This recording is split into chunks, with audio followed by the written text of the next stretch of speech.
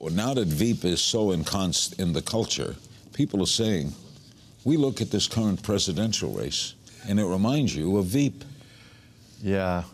It's unfortunate that our uh, comedy is uh, not as crazy as the reality.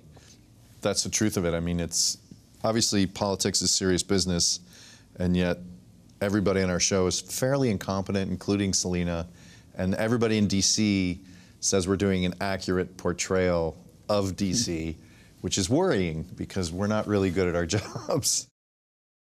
Watch new episodes of Larry King Now Monday, Wednesday, and Friday on demand on Ora TV and Hulu.